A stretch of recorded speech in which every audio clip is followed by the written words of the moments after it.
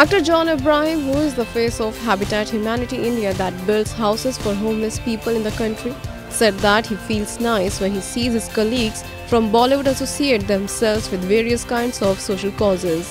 John was interacting with the media at a meet and greet session for Habitat Humanity India on Saturday in Mumbai. Celebrities like Amitabh Bachchan, Akshay Kumar, Aamir Khan, and Salman Khan have been associated with various kinds of social causes.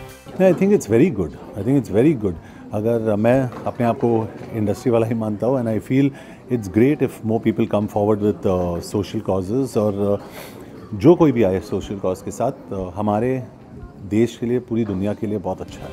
John, who is currently sporting a mustache for his upcoming film Batla House, said, नहीं अभी shoot पे जा रहा हूँ। अभी complete नहीं हुई है। अभी शूट करने जा रहा हूँ। Just one big schedule Thank you. Thank you. Thank you. Everybody gets scared that I'm going to arrest them because I look like a cop. John will be seen next in Romeo Akbar Walter, which slated release on April 12, followed by Batla House, which will hit the screens on Independence Day.